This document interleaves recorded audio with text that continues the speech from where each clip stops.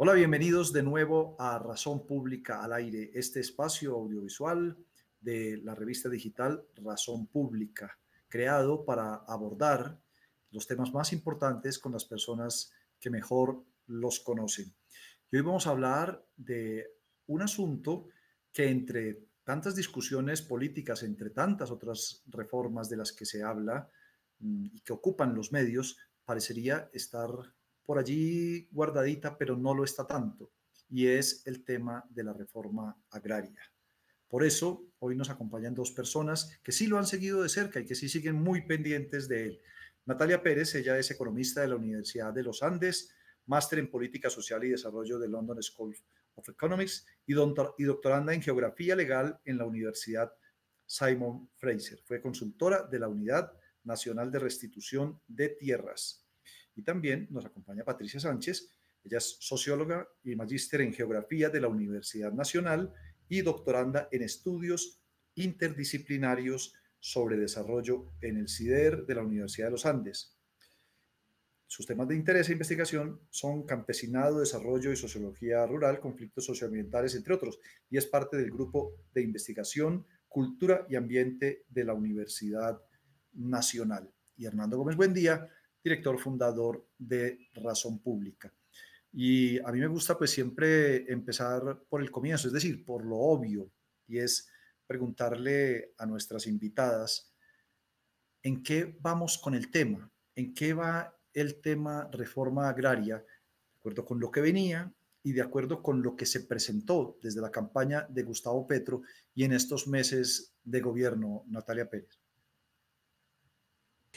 Bueno, pues eh, nada, acontecimientos recientes, volvió el tema a la agenda pública, siento yo a partir de, pues, de las discusiones alrededor del plan de desarrollo y de la salida, em, creo yo, infortunada, pero pues hay diferentes eh, puntos de vista de la ministra de Agricultura, Cecilia López. Em, sí, por lo que se sabe, eh, pues nada, hay un acuerdo preliminar que el gobierno y la ministra estaban liderando con Fedegan y ha habido una identificación de algunas tierras que se consideran aptas para la, empezar la, reforma. Eh, creo que estaban en esa negociación interna y creo que la ministra venía liderándola directamente. Eh, sabemos que ha habido una entrega preliminar de, de unas tierras en, en Córdoba, eh, pues esas entregas son importantes, son simbólicas y, y manifiestan como una un compromiso por parte del gobierno, pero también sabemos que en la agenda pública, pues esta reforma no ha ocupado el lugar, digamos, preponderante que han ocupado, pues, reformas agrarias eh, en otros momentos, en otros gobiernos eh, en el país, no, en tantos, desafortunadamente. Eh, pero bueno, creo que en eso estamos. Ha habido mucha controversia, muchas discusiones alrededor de qué es lo que quiere el presidente lograr pues, con, con la reforma y cuál es su visión eh, sobre el tema. Yo creo que no hay tanta claridad, pero pues le, cedo el turno a Patricia. Patricia, ¿y en qué está la, la situación desde su mirada? Bueno, pues yo coincido con Natalia en un aspecto que me parece fundamental y clave de cara a lo que viene en los próximos años, y es que se ha retomado en la agenda pública el tema justamente de reforma agraria.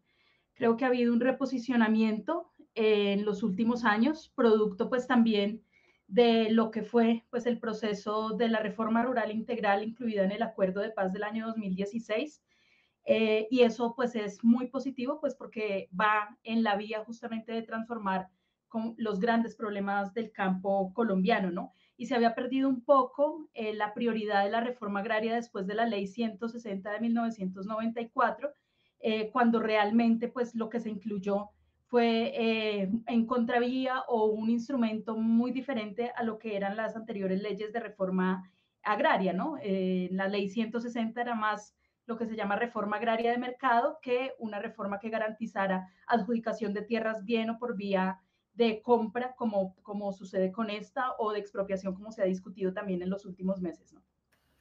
Pues entonces coinciden en que el tema ha vuelto a ocupar un espacio en el panorama informativo, en el panorama mediático y además, porque hay una información que complementaremos más adelante, el proceso de negociación de compra de tierras con Fedegan continúa, así lo reportó ayer eh, el gobierno nacional e incluso anunció que había otros gremios también interesados en sumarse en, este tema, como es el gremio de los productores de caña, de azocaña. Hernando, estamos entonces reviviendo el tema reforma agraria. ¿Vamos bien por ese lado? Micrófono, Hernando, no lo olvide. Sí, el tema se ha revivido y ese es un tema tan viejo como la historia de Colombia. Es un tema fundamental y no resuelto en, Colombia. Eh, yo, un poco a título de historia, para, eh, en Colombia nunca ha habido, nunca ha habido una reforma agraria, primero en el sentido de expropiación masiva de la tierra. La única expropiación que se ha habido en la historia de Colombia, fuera de los narcotraficantes, fuera de los, la Iglesia Católica, los bienes de manos muertas en el siglo XIX. Y además se los indemnizó. Y entonces en Colombia ha habido, nunca ha habido una reforma agraria comparable a la mexicana o la nicaragüense o la boliviana, una redistribución masiva de tierras, ni siquiera una de, considerable como lo pudo haber habido en, en, Bolivia. Eh, eh entonces Colombia realmente tiene una deuda atrasada desde hace mucho tiempo. Yo creo que eso es importante decirlo como un referente. Ahora, eh, la reforma agraria revive ahora fundamentalmente como consecuencia del Acuerdo de La Habana. O sea, nace con la lectura propia de ese acuerdo. Yo creo que eso tiene implicaciones que es importante considerar. Para poner simplemente la inquietud, ¿qué garantía tenemos de que la lectura que se hizo frente a las FARC sea la lectura que el país necesita? Porque la conversación fue con las FARC y las FARC no representan a los campesinados de Colombia. Por lo menos no, no, tiene, un mandato de representación. ¿Fue esa la reforma Santos? ¿Es esa la reforma de las FARC? ¿Es esa la reforma agraria que Colombia necesita? Yo creo que son preguntas, digo, como contextualización histórica y simplemente para picarle la lengua a nuestra invitada, porque sé que ellas sí saben y yo apenas estoy aquí asusando. A ver qué dicen las, las invitadas, Natalia. Uy, Fernando, qué, qué cosa tan ¿sabe? A mí lo que me pasa con estos temas es que yo estoy como tengo mi corazón en varios lugares. no mentiras, tengo el corazón en un lugar. Es, a mí me preocupa mucho estos temas agrarios porque yo, pues, em, tengo una cercanía con el campo. Yo no soy bogotana, yo soy de Villavicencio. Em, yo crecí cerca, pues, de la tierra. Mi papá tuvo siempre una pequeña finca. Mi papá eh, creció en el campo y además eh, él fue, participó en la, en, la, en la que se reconoce, en Colombia casi siempre se habla del fracaso de todas las reformas agrarias, como dice Hernando, pasamos de una conversación a otra diciendo siempre es un fracaso, y yo creo que nos hace falta también tener como un reconocimiento a los intentos que se han hecho eh, de política pública, en el intento que se reconoce como el más grande de reforma agraria a finales de los años 60, principios de los 70, estuvo mi papá. Eh, fue parte del INCORA, hizo parte como de esa generación. Entonces yo siento que yo, eh, digamos que tengo un, compromiso y además una cercanía con el tema, pues eh, que siento muy profunda. Em, con todo y eso, a mí me preocupa mucho y habiendo, sido parte del, gobierno y habiendo trabajado en estos temas desde el gobierno, me preocupa mucho esas miradas como tan grandes y tan lejanas sobre los temas de reforma agraria, que no valoran em, como en la minucia qué es lo que pasa digamos, y por qué este tema de tierras es tan difícil, por qué neurálgicamente es tan difícil, a todo tipo de nivel, ¿no? A nivel político, la discusión, pero también en la práctica y en, la en lo que pasa, ¿no? En el día a día de cómo se hacen las reformas. Yo creo que a veces tenemos esta imagen de que la propiedad es una cosa que, yo no sé, mágica, que nos permite, ¿no? Cambiar las de manos, entonces podemos coger y coger unas tierras de un lado y pasarlas al otro, o devolverlas, o qué sé yo, y que lo único que necesitamos es un Estado fuerte, grande, o un señor eh, que se vuelva presidente, digo señor porque no solo hemos tenido presidentes hombres, tristemente, eh, y que venga y nos diga, ¿no? Que nos ayude a ver cómo solucionamos eso y que, nos, y que determine eso. Yo creo que eso es pues un legado colonial, patriarcal, que tenemos que empezar a retar, porque la solución no puede estar siempre mirando desde lo grande y desde los millones de hectáreas que se supone que tenemos que cambiar. Claro que sí, tenemos que cambiar la estructura agraria de Colombia. Claro que sí, es insostenible los niveles de desigualdad que hay en este país. Eso no tiene, digamos, ninguna presentación ni frente a cambio climático ni frente a ninguna realidad social, ambiental. No. Pero hacerlo o pretender hacerlo en cuatro años o tres o dos desde un gobierno y a rajatabla o como sea, eso no, pues ya, hemos, ya se ha intentado y no se ha logrado. Entonces a mí me preocupa que la discusión esté solo en ese nivel.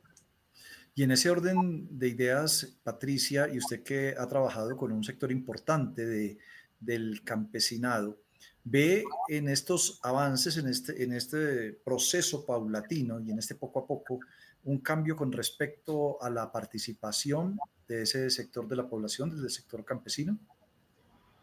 Sí, sin duda. Digamos que pues, la respuesta está relacionada justamente con lo que comentaba Hernando hace un rato, ¿no? Y es qué tipo, de qué tipo de reforma estamos hablando en este momento, ¿cierto? ¿Qué es lo que se va a implementar? y cuál fue el marco en últimas en el cual se aprobó pues esa reforma rural integral que finalmente eh, pues se incorporó en el acuerdo y luego pues se ha incorporado en el Plan Nacional de Desarrollo eh, con algunos cambios, algunas transformaciones, pero que efectivamente el nodo o el, el, el, núcleo central pues está presente en el Plan Nacional de Desarrollo.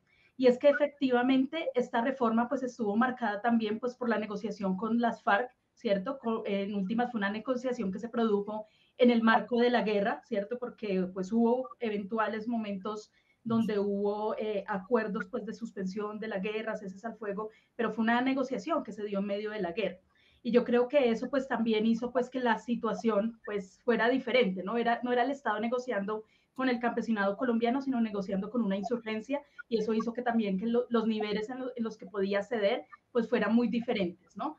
Em, pero también, pues recordemos que hubo un proceso de participación en el contexto de los acuerdos de La Habana, donde se convocaron diferentes organizaciones de todas las, digamos, de todos los tipos y dentro de ellas las organizaciones campesinas.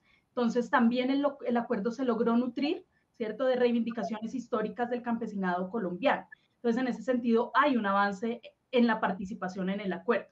Ahora, ¿qué es la reforma que el campesinado colombiano desearía? ¿Es la reforma de la ley 200 del 36 o tan siquiera la de la ley 160 o la de la ley 135? No es ninguna de esas. Es una reforma rural acotada que contribuye a saldar disculpen que me, me atoré, que contribuye a saldar problemas históricos de acceso a la propiedad rural en caso de implementarse eh, del campesinado, pero pues no es, digamos, ese instrumento pues que se había pensado a inicios del siglo XX, ¿no? Eh, también es que ha habido muchas transformaciones en los últimos, en los últimos 50 años, ¿no? que han hecho pues que las necesidades también sean diferentes, ¿no? A principios de siglo, pues eh, teníamos un país absolutamente rural en términos de la composición demográfica, Hoy eso se ha transformado producto de la guerra y pues tampoco tiene que ser necesariamente la ley, la reforma de la ley 200 del 36. Pero sí, pues hay unas diferencias claves entre ese tipo de reforma de la que hablaba Hernando al principio y la que se va a implementar ahora. Ahora, también hay aspectos positivos del hecho de que se desprenda del acuerdo y es que hay unos instrumentos que fueron incluidos también y que son muy importantes, como por ejemplo el catastro multipropósito, ¿cierto?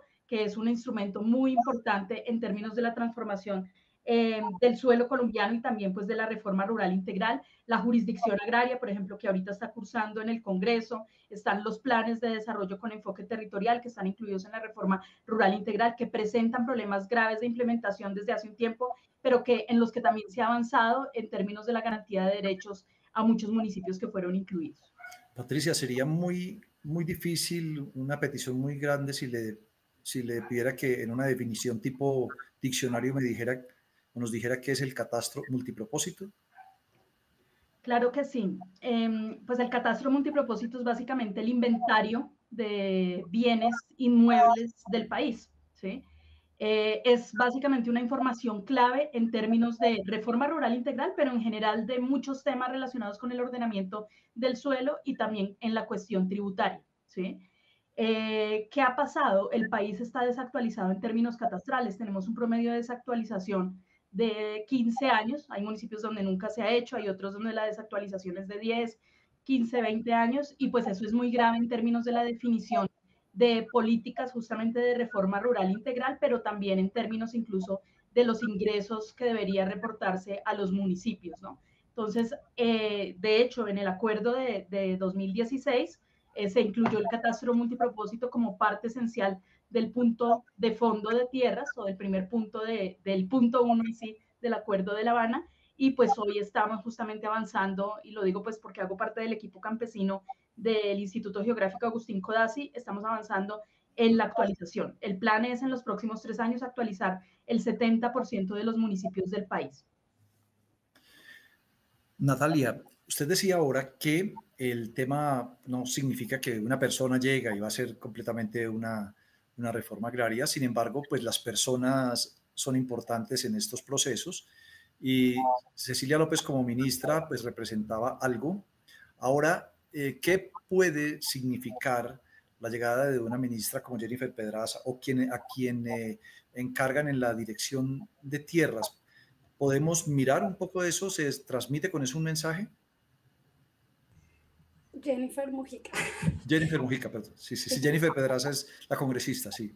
Bueno, sí, eh, yo quisiera, pero un momento, yo quisiera devolverme un segundo a la discusión sobre, sobre catastro multipropósito. Bueno, a lo que sí, sí, planteando Patricia, que me parece muy interesante, porque esto es algo que yo he escuchado muchísimas veces. Y es, o sea, y entiendo la, la lógica eh, de, o sea, la lógica es necesitamos tener más información para saber eh, en manos de quién está la tierra y ahí vamos a poder manejar mejor la tierra y distribuirla mejor y además podemos cobrar los impuestos a los más ricos y con eso, bueno, el país puede cambiar y tal. Pero el problema de eso, creo yo, y es lo que a mí me preocupa, digamos, y la razón por la que yo, eh, pues nada, a lo que le dedico yo, pues mis, mis, mi tiempo, es eh, pues cómo se define, cómo se piensa la tierra, la relación entre las personas y la tierra, el espacio, cuando se definen como qué es tierra pública, qué es tierra privada, cuando, cuando se hace el catastro. En el, y un poco eso hay que verlo en la minucia. ¿Y por qué lo digo? Porque yo trabajaba con ingenieros catastrales y los ingenieros catastrales, por lo menos los que estamos formando en nuestro país, eh, y muchos geógrafos y bueno, otras, otras profesiones, geógrafos físicos sobre todo, eh, pues tiene una visión a veces del espacio como si fuera una, una, una, una, cosa neutral, ¿no? O sea, como si uno llega, observa y decide, ¿no? Y puede fácilmente con unos parámetros decidir qué es una cosa y qué es otra, y eso pues es muy complicado. O sea, en esa definición y en ese hacer el catastro, eh, o sea, la razón por la que haya sido tan difícil y todavía es difícil, no solo en Colombia, sino en el mundo, o sea, los catastros no están terminados en ninguna parte. Es un mito que tenemos, pues, esto está solucionado en el planeta.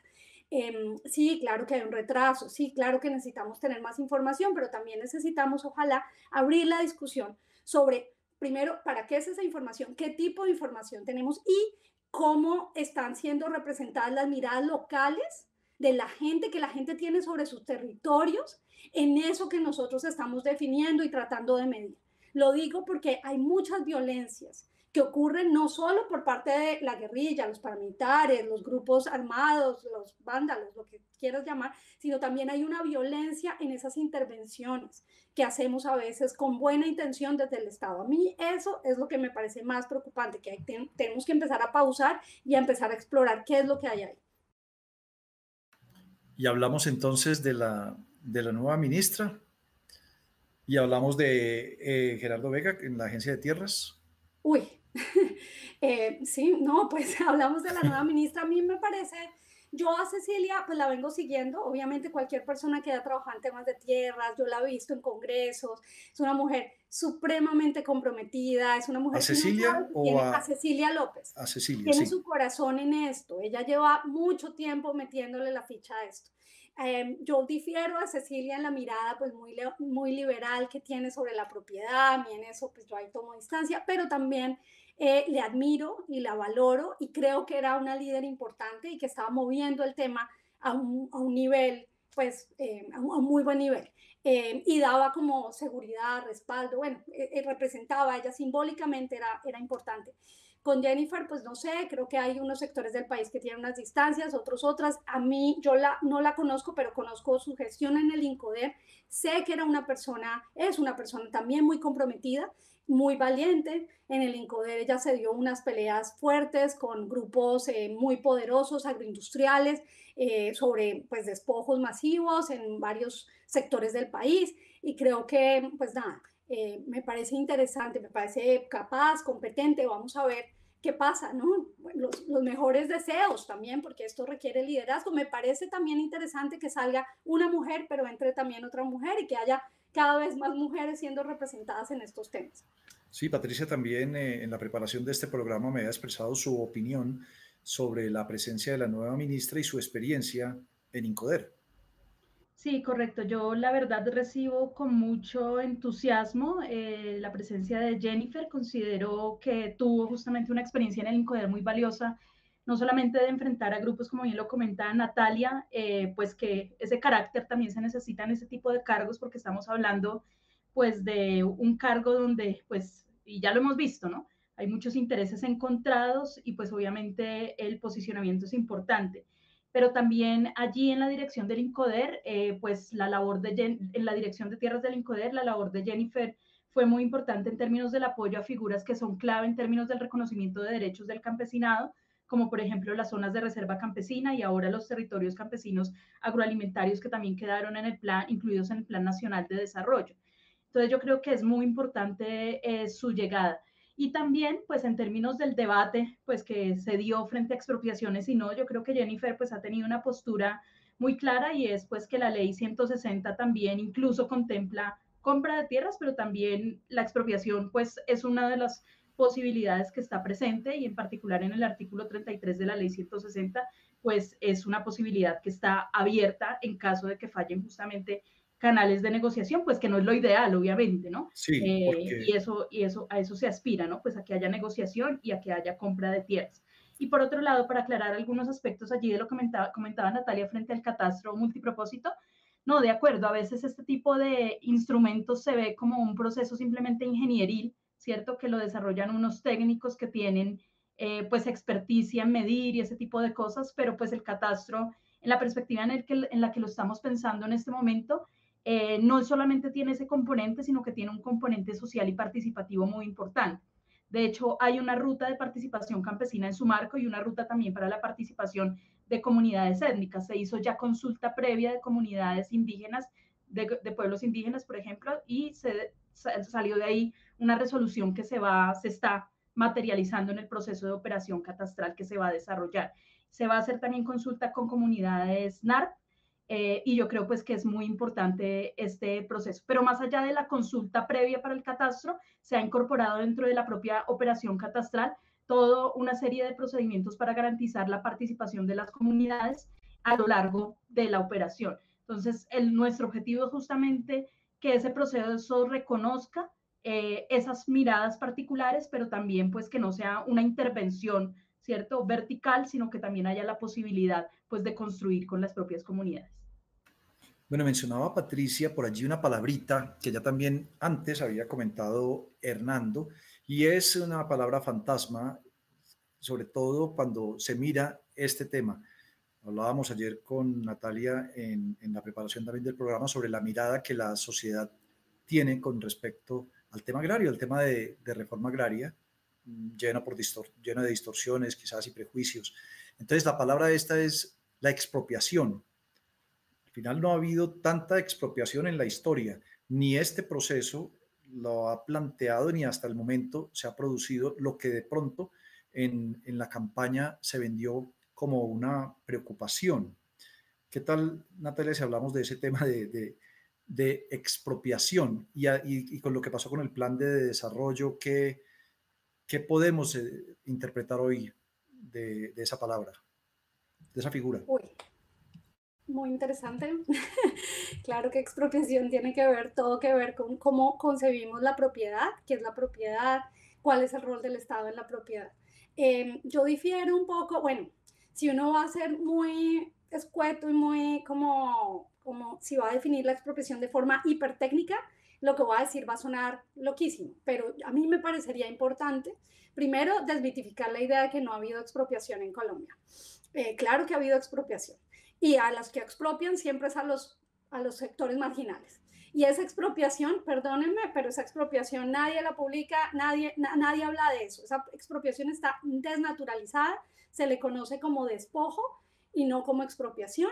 Em, desde la misma colonia, la, la, la, corona española, cuando decide tomarse las tierras y decir que estas tierras son suyas como si no hubieran estado masivamente pobladas, perdóneme, pero Colombia y todo nuestro, nuestro continente estaba masivamente poblado, había gente viviendo ahí con sus formas de vida y, eso fue borrado o digamos, pretendió ser borrado. Entonces ahí empezamos la primera ola de expropiación y luego cuando el Estado-Nación se, crea y cuando se crea la República a principios del siglo XIX, también el Estado sigue con esta tendencia y ahí pues crea esta, esta idea de que pues lo que hay son baldíos, que los baldíos pertenecen a la nación, que ahí hay toda una cantidad de literatura que habla sobre eso y lo problemático de la forma en la que se definen y no se definen y cómo el Estado los adjudica y tal. Y ahí ha habido obviamente una participación súper importante, yo siento, de los campesinos, que yo no lo llamo campesinado pues porque es múltiple, campesinos, campesinas y de todas las regiones, que también hay que tener en cuenta, los campesinos no son una sola cosa homogénea, un campesino de la costa es muy diferente a un campesino del Caquetá, a un campesino del Amazonas, son seres muy, muy distintos. Eh, pero bueno, a lo que voy yo es que sí ha habido mucha expropiación en la historia del país. Obviamente la expropiación, cuando decimos expropiación, la gente que salta es la gente que siente que tiene derecho a la propiedad. ¿Y esa gente quién es siempre? La gente pues de clase alta, la gente rica, la gente que ha mantenido el control de la tierra. Entonces, eh, pues hay que entender también cómo esto. Ahora, yo lo que siento es que es muy peligroso usar una figura, cualquiera que sea, de forma muy em, rápida. Digamos, esa idea de que la expropiación se puede hacer en 21 días y que no sé qué, y que luego de eso, entonces ya los campesinos van a estar ahí y van a estar bien. Miren, yo conozco muchísimos casos y hay muchísimos, y esto está muy documentado, en los diferentes procesos de reforma agraria en diferentes momentos del país, desde principios del siglo XIX, eh, del siglo XX, perdón, de la reforma de, de, los 30. Desde ese momento ha habido intentos de comprarle la tierra, ni siquiera a veces no se expropian. Al principio se hablaba de clarificar y no sé qué. Eh, y, y, que los campesinos tuvieran la tierra, que era baldía. Muchos terratenientes tenían la tierra, pero era baldía. Em, luego se pasó a comprarle la tierra a los terratenientes. Se les pagaba se les paga la tierra. ¿Y qué pasó después de eso? Llegaron de todas formas y se las quitaron a los campesinos por medios violentos. Quitar es una palabra que en el derecho no debería usarse, la despojaron. Entonces, a lo que yo voy es que es súper riesgoso pensarse en estos temas de esa manera, porque entonces hay un tire y afloje que, a quién deja en la mitad, a los campesinos, a los indígenas, a los afrocolombianos, a nuestros pobladores rurales que queremos nosotros apoyar. ¿Ah? porque ellos son los que están poniendo el cuerpo ahí en el, en el campo, a ellos son a los que los matan, a ellos son a los que les, o sea, contra los que se cometen una cantidad de violencias absolutamente horribles, horripilantes, que hemos permitido en esta sociedad. Entonces, a lo que yo voy es que tenemos que mirar bien qué es lo que tiene en, en, el engranaje, cómo está construido ese término de propiedad, qué es lo que estamos privilegiando y a quién privilegiamos cuando privilegiamos ciertas nociones de propiedad. ¿Ah? Porque es muy fácil decir, ah, vamos a volver la tierra, se la quitamos a los, a los ganaderos improductivos, se la damos a los campesinos que son más productivos. Pero luego, esa, esa forma de pensar nos lleva entonces después, ah, entonces después los campesinos no, no son tan productivos, están atrasados, mejor que la tierra le llegue a los capitalistas agroindustriales que sí son productivos, o a los mineros, que también quitan la tierra a los campesinos para dársela a la minería, o a los no sé qué, que se consideran entonces más productivos. Eso es muy peligroso. Y eso es lo que está detrás, digamos, de la forma en la que definimos la propiedad cuando no la discutimos. Mi tema es, tenemos que empezar a discutir, abrir la caja de qué es eso, qué es propiedad, de qué es eso, qué es productivo, de qué es eso, qué es función social, ¿no? De la, de la, de la propiedad. Y habla, abramos la caja para ver qué hay ahí. ¿Qué dice Hernando? No, que por supuesto que la historia, no solamente de Colombia, realmente, esa historia la podemos llevar a muchos países y es una historia muy larga, la manera como efectivamente los campesinos o las poblaciones originarias fueron despojadas en todas partes del mundo. Eso no, eso no defiende a Colombia. Eso, lo que estás diciendo es absolutamente cierto. Yo lo diría de esta manera. El problema realmente, si uno mira el problema histórico, se mete un enredo enorme. Es como la discusión de la reparación de la esclavitud. Es un problema sumamente difícil de reconstruir los títulos y tenemos una larga historia de intentos de fijar fechas y moratorias a partir de las cuales valen títulos. Es la famosa sentencia de 1926. Ese es un problema, pero primero, estoy completamente de acuerdo con la lectura de que muchos campesinos, no todos, pero muchos campesinos efectivamente, por supuesto, son victimizados, perseguidos, particularmente las minorías étnicas. Y el despojo, pues son millones de hectáreas, cualquiera que sea, son millones de hectáreas y de personas. Eso es cierto. Cuando yo hablo de expropiación me refiero a la expropiación por parte del Estado para efectos de reforma agraria, que es otra cosa. El Estado se supone que compra o adquiere tierras para distribuir entre los campesinos. Eso es lo que se llama reforma agraria, porque tú estás describiendo la contrarreforma agraria o la historia de expropiación de la tierra. Pero ahora, dos comentarios simplemente porque es un tema muy interesante. A mí me yo creo que el problema que produce violencia el gran problema de Colombia es la inseguridad y la falta de claridad sobre los títulos. Muchas veces se deben a que los despojaron y los robaron, y en el pasado reciente además. Eso es así. Y aquí hay un lío con notarios, con catastros, por eso es tan importante actualizar el catastro. Y además este catastro no se limita a la propiedad, sino que incluye impuestos, vía, valorización. Es un instrumento de planeación fundamental. Pero el problema fundamental, digamos, que hay primero la seguridad de la tenencia de la tierra. En Colombia son muchos todavía las tierras poseídas donde no es claro quién es el dueño. Eso es un absurdo porque eso impide pues, la, seguridad de los derechos jurídicos. Es un trabajo de formalización, de titulación que se está haciendo y que hay que hacer mucho más. Ahora, mi punto de fondo con esta conversación, ya que lo plantean así, voy a decir de una manera muy simple para animar la conversación. El mundo ha cambiado y hoy el valor económico de la tierra es muy distinto. El verdadero problema de Colombia no es repartir la tierra, es elevar la productividad y el nivel de vida del sector rural, que es una cuestión que pasa por la tierra, pero no se reduce a la tierra. Hoy por hoy la tierra no tiene la importancia económica que tuvo en, otras épocas.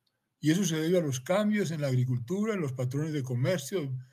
Estamos en una época muy distinta y a mí me parece que eso plantea un interrogante de fondo y es donde digo yo el peso de la historia y la, que haya negociado la FARC y la tradición agrarista colombiana, que tiene toda la validez como explicación del pasado, pero no corresponde al mundo del siglo XXI.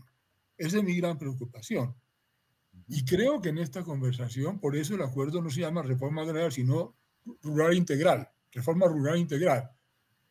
Porque creo que no estamos de acuerdo. La tierra es un elemento y es fundamental, sobre todo la claridad Primero, obviamente, restituir la tierra despojada, de eso no hay duda, eso es una obligación elemental. Segundo, de la claridad en los títulos, para que se sepa quién es el propietario o propietaria, porque si no, esto, esto no puede funcionar. Pero hoy por hoy son muy importantes la elevación de la productividad que pasa por bienes públicos, carreteras, suministro, educación.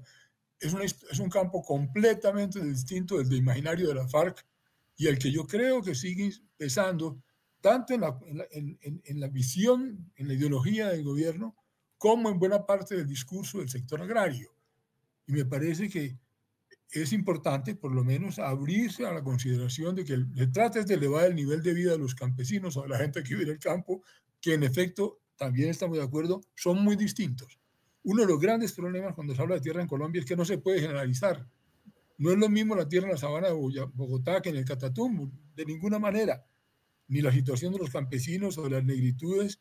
Sí. Son, son, muchas historias. Entonces, esto hace, y en eso estamos de acuerdo, que necesitamos mucho más por la tierra, mucho más realismo. Yo, en términos simples, diría: pensemos más en la productividad que en la obsesión sobre la tierra. Y termino con esto. La palabra expropiación es la palabra que se usa políticamente en el discurso para decir esto es comunista, nos van a expropiar, nos van a quitar. Por eso, no, eso no ayuda. Lo que tenemos que hablar es del bienestar de los campesinos. La expropiación es un instrumento, es un recurso que se puede utilizar Por una razón muy simple, el Estado necesita expropiar también en la ciudad de Bogotá para construir una avenida. Tiene que expropiar porque hay que hacer la avenida, punto. Eso no tiene discusión ni hay por qué hacer semejante escándalo. Pero yo creo que esta insistencia en la expropiación y el reparto de la tierra realmente no ayuda mucho en la medida en que se vuelve una obsesión, pero sí. estamos hablando con los que saben. Precisamente, precisamente sobre eso también quería la opinión de Patricia, y es si ese, ese, monstruo de expropiación del que se hablaba eh, antes de llegar a este gobierno eh, ha mostrado dientes o finalmente no ha aparecido como tal. Pues creo que ha estado presente eh, incluso en el proceso de la campaña e históricamente pues es justamente eso que comentabas tú hace un rato, Darío, y es un fantasma, ¿no? Sí, pareciera un fantasma que, al que todo el mundo le tiene, le tiene miedo y pánico a discutir, pero efectivamente es más común de lo que uno pensaría. O sea, se ha hecho eh, muchas veces en muchos estados y la expropiación con fines de reforma agraria, como bien lo comenta Hernando, es un instrumento que no se puede tampoco abandonar, ¿sí? que está allí. Comparto con Natalia en que no es simplemente expropiar por expropiar, sino se generan unas garantías para que efectivamente la tierra a la que puedan acceder los campesinos sea productiva, esté en unas condiciones también, incluso en términos de orden público, que sean pues mínimas para, la, para generar realmente producción. O sea, es un instrumento que solo, ¿cierto? Aisladamente es absolutamente insuficiente, ¿sí? Y que no puede, pues, eh, simplemente darse, pues, en tan poco tiempo. O sea, se necesita también hacer estudios técnicos para eso, surtir procesos también de diálogo previo, de posibilidades de compra previa, de acuerdo. Pero yo sí creo que hay que perderle el miedo, ¿cierto? Porque es un instrumento clave, justamente como lo mencionó Hernando, para los, para los estados. Ahora, hay un aspecto en el que coincido con ambos y es la cuestión de la función de la propiedad, ¿cierto? Y de la propiedad rural en particular. Yo creo que eso es lo que trae a colación justamente el tema de la expropiación. ¿Para qué en últimas es la tierra? ¿Sí? Y ahí sí me remito a ese, esa parte de la ley 200 del 36, ¿cierto? Que me parece clave, más allá de la cantidad de hectáreas que en ese momento se decía que se iban a entregar ni nada de eso, me parece que es clave la cuestión de la función, la propiedad como una función social, ¿sí? Que decía justamente esta, esta ley de reforma agraria. Y es que yo creo que eso es lo que debemos pensar. Sí, yo sí creo que todo el debate parte por la discusión sobre para qué es la tierra. La tierra es para la construcción de proyectos mineros, ¿cierto? Es para el turismo, va a tener lugar esta, esta, esta diversidad de actividades, vamos a retornar a la agricultura y en qué condiciones. Yo sí creo que eso hace parte del debate. Y yo sí creo que la agricultura es esencial en este debate. ¿Sí? Y lo es porque es que estamos hablando de la cuestión de la alimentación y lo que vivimos, por ejemplo, con el COVID, con, con el COVID-19, eh, puso al centro justamente o trajo de nuevo la cuestión de la importancia del cultivo de los alimentos. Entonces yo sí creo que eso hace parte de la discusión y hace parte del debate para qué eh, se va a usar la tierra, qué es la tierra, cuál es la función social de la tierra. Ahora, yo comparto en que han pasado muchas cosas debajo, ahí sí ha circulado mucha agua debajo de este puente y no es el mismo país de inicios del siglo XX el que tenemos en la actualidad, Hoy hay otro tipo de actividades, ¿cierto? El problema no se resuelve solamente con repartir la tierra, ese es un paso, porque estamos hablando también de garantía de derechos para las comunidades que han sido expropiadas, pero también necesitamos hablar de productividad y cómo hacer la tierra productiva, ¿cierto? En términos de la agricultura, pero también qué escenarios, por ejemplo, son aptos para otros tipos de actividades, como el turismo, como la minería, algunos tipos de minería, qué tipos de minería de pronto no y en qué ecosistemas no, ¿sí? Entonces, hace parte justamente del debate, no es solamente la cuestión agraria, sino la cuestión del ordenamiento del suelo rural, lo que está de por medio en todo esto. Y en el debate sobre productividad también hay un debate clásico y es cómo hacer más productiva la tierra, ¿sí? Si es realmente el, el agronegocio, la agroindustria la que la hace más productiva o es también incluso la pequeña producción campesina. Eso es un debate académico y un debate político que tenemos que dar y que es importante dar en los siguientes años, porque hay académicos que se posicionan también del lado, por ejemplo, de la agricultura campesina también como una agricultura que puede llegar a ser muy productiva en unas condiciones obviamente óptimas. ¿O es realmente la agroindustria la que lo hace? Eso, eso hace parte de la discusión, creo yo, hoy, por hoy. Sí, Natalia. Bueno, yo creo que Claro, hay, que, creo que hay que hilar más fino con estos temas de, productividad. Me parece importante que los discutamos em, y creo que a veces hay esta tendencia a creer que los campesinos no son productivos, que tienen que ver con la forma en la que se mide la productividad, con lo que se considera productividad. Entonces, por ejemplo, una, la, agroindustria tiene un montón de externalidades sociales y ambientales brutales, o sea, brutales, que si se considera y se mide, obviamente, pues no, no serían tan considerados tan productivos, sobre todo en un contexto de cambio climático, que es, pues, ya saben, esto es inminente, ya, ya está con nosotros. Eh, entonces yo también creo que hay que hacer un llamado a eso, a que a no asumir que entonces el campesino es improductivo. Miren, yo trabajo con una comunidad en el, ubicada en el Cesar, eh, con relativo acceso, digamos, a carreteras y esto, entraron a un, a un terreno y en un periodo de seis años en una tierra a la que entraron. La tierra ellos la compraron, se la compraron al terrateniente, el Estado la compró, pero en una negociación, ni siquiera fue como adversarios. El terrateniente estaba quebrado, los campesinos les resuelven un problema. Y este grupo de campesinos en seis años hizo de todo, transformó completamente esa finca. Ya estaban vendiendo de todo, les estaba yendo súper bien. Entonces a mí me cuesta mucho trabajo creer, solo en seis años, tenían escuelas, tenían centros de abastecimiento, tenían cooperativas, me cuesta mucho trabajo creer que el campesino es un sujeto pasivo, que el campesino es un sujeto atrasado, que el campesino es un sujeto o sujeta, ¿no? porque hay muchas campesinas que son invisibilizadas sin conocimiento. O sea, esa, esa imagen de que tenemos de los campesinos, esa imagen tenemos que transformarla, porque los campesinos son sujetos pues muy capaces y no solo capaces, tienen mucho conocimiento y, y tienen derecho a decidir sobre cómo quieren vivir. Entonces también a mí lo que me preocupa a veces es que cuando miramos la cosa muy de lejos, ¿no? Con cifras de millones, con políticas como de ordenamiento, pero muy macro, muy de lejos, pues se nos olvida la minucia. Ahora me tranquiliza lo que dice Patricia cuando habla del catastro multipropósito, de los mecanismos que están habiendo para integrar, ¿no? Las miradas de las comunidades, las miradas que la gente tiene sobre el territorio, sobre cómo, ¿no? Cómo identificar qué es de quién. Eh, y creo que deberíamos hacer lo mismo también pensando en productividad, eh, porque no puede ser un debate en abstracto. Ah, y otra cosa, Hernán, los temas de pasado, claro, parecen muy remotos, parecen muy de pasado, pero muchas cosas se repiten. Entonces, yo siento que yo los traigo porque creo que es importante en el momento presente, em, como entender, digamos, de dónde vienen cierta tendencia a ver el mundo de cierta manera. ¿ah? ¿Y para quién es la seguridad? Porque en este país la seguridad ha sido solo para uno, ¿no? O sea, llevamos mucho tiempo viviendo la población rural y sobre todo la población campesina, indígena y afrocolombiana viviendo en condiciones de inseguridad total frente a su tenencia de la tierra. Les quitan y los despojan todo el tiempo. ¿Ah? Y entonces cuando hablamos de seguridad, solo pensamos en la seguridad de los grandes, de los grandes sí.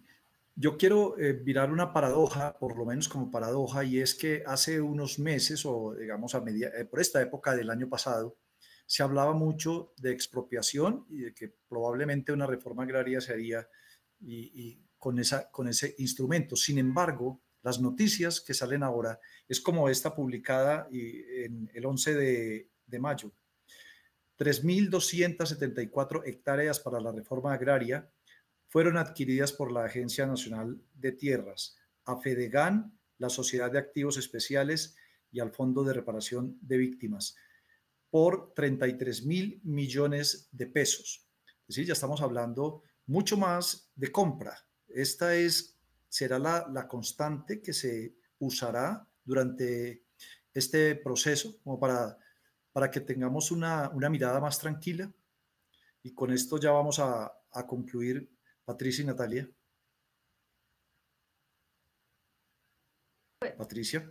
Vale, pues yo creo que eh, sí, o sea, creo que la prioridad, tanto Cecilia en su momento como Jennifer en este momento, en ese tránsito, han priorizado justamente la, compra de tierras, ¿no?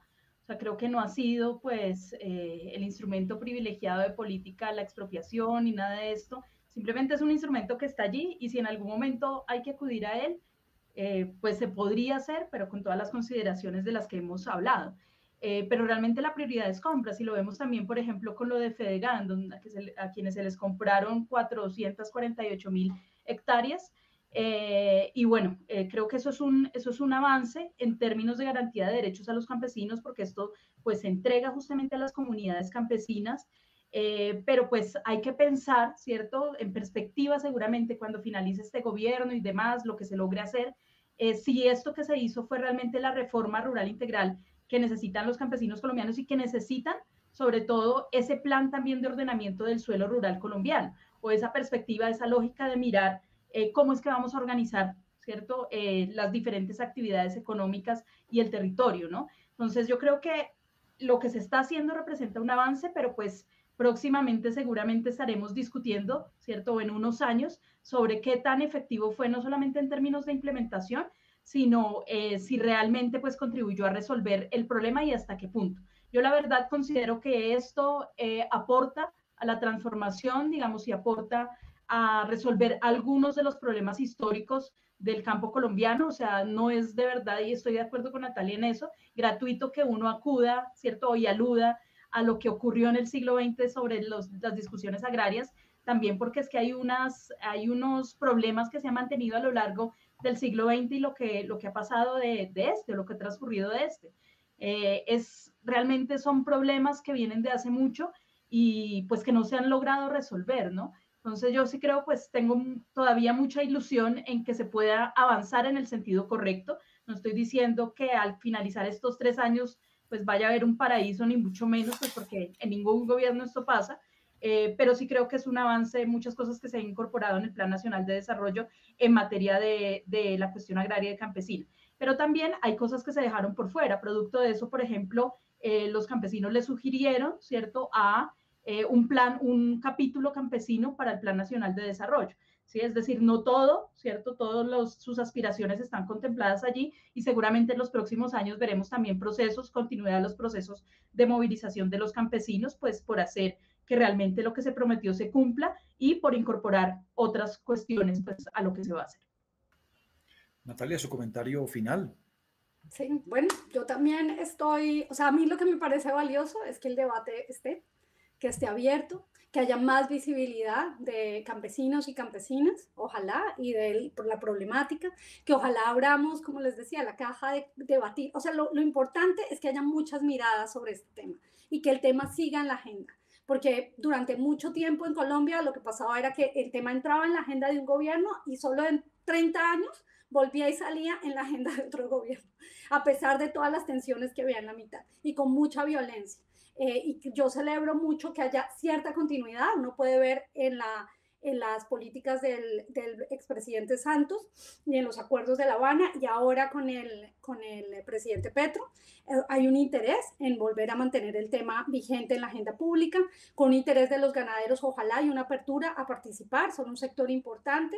Eh, es importante que estén también en las conversaciones y que estén, pues que sea una, una conversación plural, porque este es un tema, pues, es, es como la fibra, ¿no? Nuestro tema que nos, que nos toca a todos en, en, nuestro país. Y yo creo que, bueno, yo celebro mucho eso, más allá de, pues, y, y, y, le doy la bienvenida a la controversia, la verdad, me parece importante que haya este tipo de discusiones.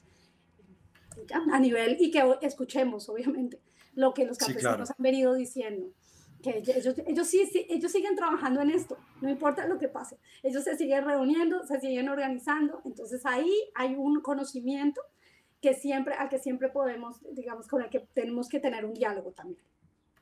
Y por eso, Hernando, pues Razón Pública ha estado tan atento siempre a este tema, ahora que vuelve a la, a la, palestra. Sin duda, yo saludo además que, que haya gente que sabe que comparado realmente es muy importante el cambio en el conocimiento y en la comprensión del sector agrícola, que es lo que muestran nuestras dos invitadas. Yo vengo de una generación donde este tema era mucho más ideológico y mucho más simplificado. Y yo creo que si algo nos queda claro en la conversación de hoy es la dif diferencia de situaciones que hay.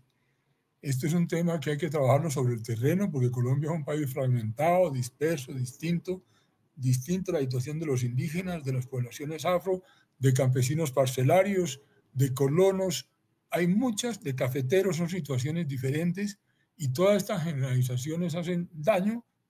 Eso sería una primera enseñanza. Yo creo que el hecho de que estemos conversando ahora de una manera más pensando en la realidad más que en las ideologías y en los dogmas, eso es sumamente constructivo. Y también diría, simplemente, yo lo que creo es que tenemos, tenemos que tener claro que el propósito, los propósitos de esto son en su orden. Primero, el bienestar de Colombia. ¿Sí? El campo es parte de Colombia. El tema de los alimentos, por ejemplo, es un tema que hay que estudiar desde el punto de vista de Colombia. Y segundo, para el efecto que pensemos en elevar, primero en que se respeten los derechos mínimos a la vida y a la propiedad de los campesinos despojados, por supuesto, pero sobre todo pensar en mejorar la calidad de vida de los campesinos, en las cuales el acceso a la tierra o la formalización de la propiedad de la tierra o el manejo de la tierra es un elemento importante, pero no es el único y no necesariamente es siempre el más crítico. Yo los invito a que tengamos la mirada de que el objetivo no es la, obsesión de la tierra, el objetivo es elevar el nivel de vida de esa población, me parece a mí. Pero le doy la bienvenida a la conversación y creo que hemos avanzado mucho. Yo en todo caso he aprendido mucho en esta conversación. Muchas Sin duda. Tenemos a, a, dos maestras, a dos máster, doctorandas, expertas en, en el tema, trabajan día a día y desde hace mucho tiempo en los asuntos. Natalia Pérez y Patricia Sánchez. Sus hojas de vida, resumidas por supuesto, estarán aquí después de que despidamos este programa. Los invitamos a que se suscriban al canal de Razón Pública y a que nos sigan viendo en estos espacios, en estas propuestas temáticas que traemos para ustedes. Muchas gracias, Patricia, Natalia, Hernando, y a ustedes también. Muchas gracias.